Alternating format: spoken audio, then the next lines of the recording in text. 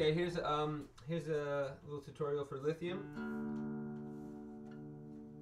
Drop the low E to sound like a D.